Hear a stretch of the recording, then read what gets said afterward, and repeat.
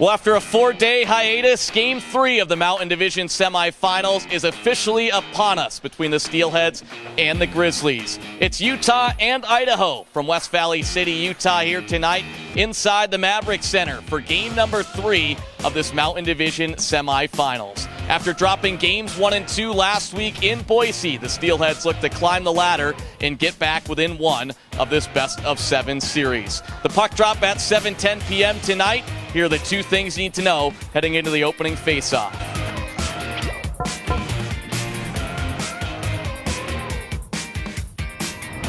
Thing number one Kawaguchi is back.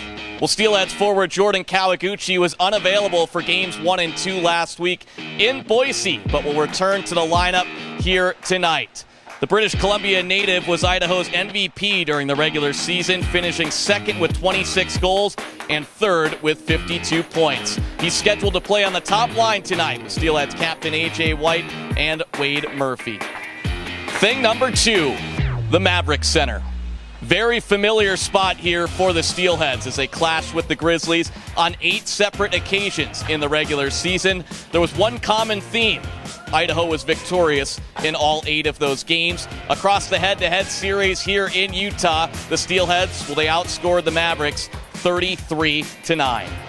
Head on over to Western Proper tonight for those of you back in the Boise area, located downtown at 610 West Idaho Street for a live viewing party, which kicks off at 6 p.m.